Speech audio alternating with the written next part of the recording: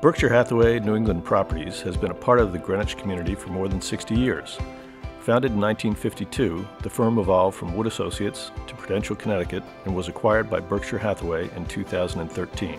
By working with Berkshire Hathaway Home Services, you align with a century of unparalleled financial strength, operational excellence, and business ethics. With two locations in Greenwich and Old Greenwich, our 95 residential brokers know the town from the water to the backcountry and everything in between.